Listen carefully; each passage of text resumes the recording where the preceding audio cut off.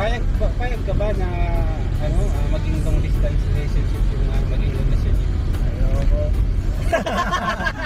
Direct pa ako ito.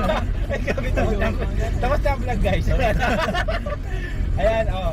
Hindi, kaya, ah, ano sagot mo? Payag ka ba na magkaroon ka ng long distance relationship? Pangit.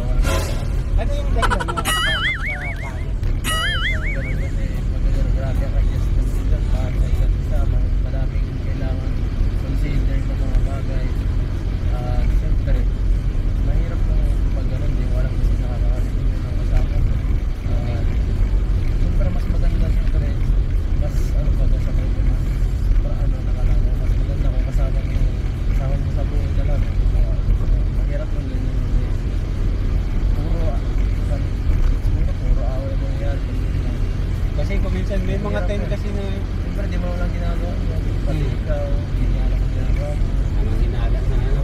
Tapos, minsan nagkakalamin niya. Mas maganda talaga yung Magkasama. magkasama.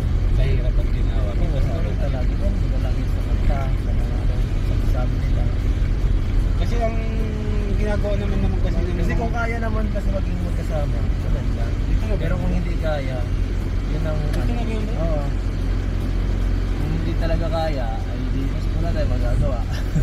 Pero kung kaya namang hindi lumayo, Kaya naman kasi kung lalayo lang naman din tapos 4 to ano 50,000 to 100k yung sahod.